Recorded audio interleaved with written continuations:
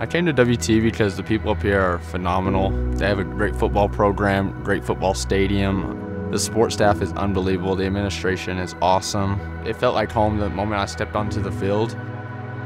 I'm fortunate to play quarterback here at this great university.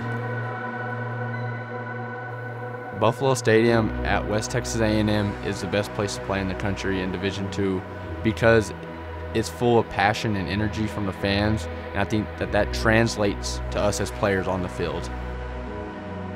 You always want to defend your home. As you go through the Buff Walk, you see the passion, the energy that the fans bring, and then they transfer it into the stadium. And I think that that's what really lifts us up at home games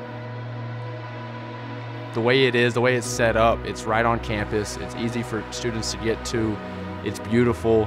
It holds a lot of people, it holds a lot of passionate fans, and it's just awesome to play in. And whenever you're in it, you just forget where you're at for a little bit, and you just get to play football on it.